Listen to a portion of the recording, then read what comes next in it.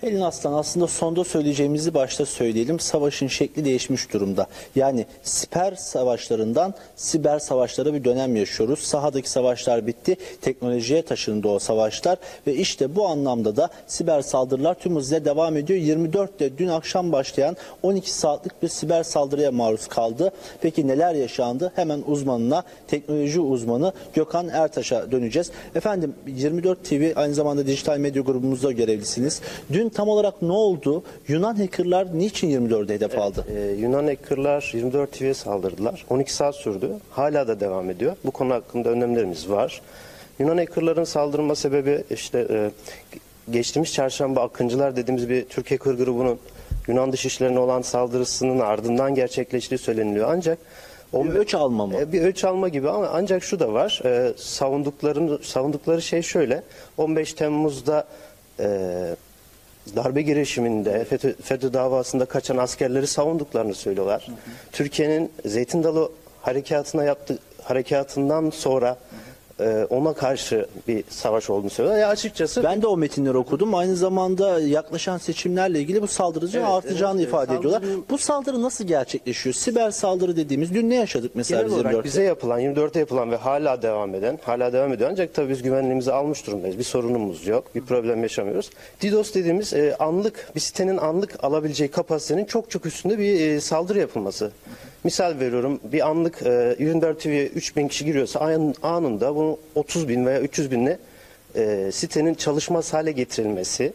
Böyle bir e, yol izleniyor. Genel olarak DDoS saldırısı bundan ibaret. Yani siteyi kitlemeye çalıştılar, çökertmeye çalıştılar ama başaramadılar. Başaramadılar. Hemen arkamızda bir harita var. Kameraman arkadaşım Şakir Sarsılmaz'dan da rica edeceğim.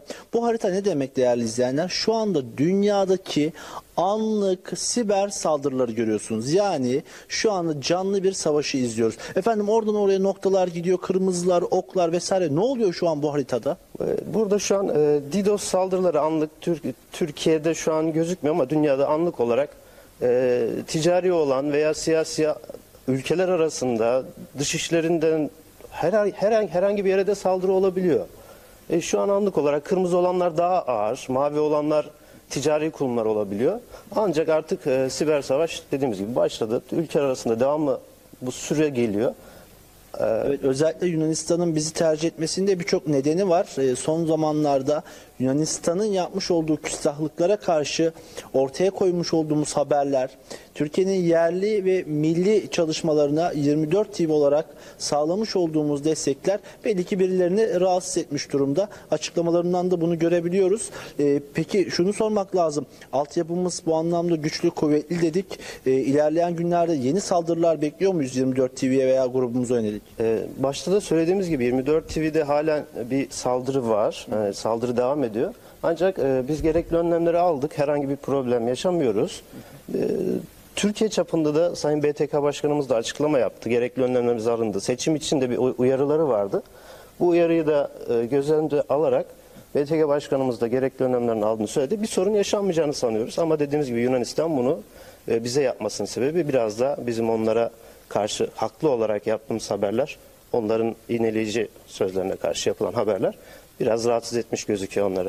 Evet, dijital medya grubumuz biz güvendeyiz diyor. Ne olursa olsun mücadeleye devam edeceğiz. Siber saldırıların bugün içerisinde de devam ettiğini biliyoruz. Yunan hackerlar tarafından ancak Türk hacker grupları da bunlara anında karşılık vermeye devam ediyor ki sadece geçen hafta Yunanistan'ın Dışişleri Bakanlığı sitesini hacklemişlerdi. Yunan Haber Alma Ajansı'nın sitesini hacklemişti. Türk hacker grupları e, bizi de bu anlamda belki bir öç alma olarak kullanmak istediler. Ancak başarısız oldular. Siber savaşlara karşı teknik altyapımızın da bu konuda güçlü bir şekilde yerinde olduğunu ifade edelim. Sözü tekrar sana bırakalım Helin Aslan. İşte böyle bir siber saldırıya maruz kaldık.